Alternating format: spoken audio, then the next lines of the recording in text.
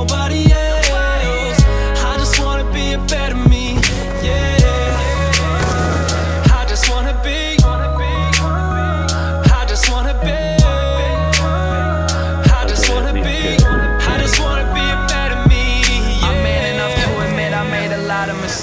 Party every single night, just letting days go to waste. Guess it's bound to happen when you caught up living this way. I'm just a victim to this fucked up dream that I chase. I seen fame change people in the worst ways. Went from being good dudes to dickheads when they get some praise. I know I'm guilty of it too, I'll never hide the fact. I got an ego cause of rap, I had to peel it back.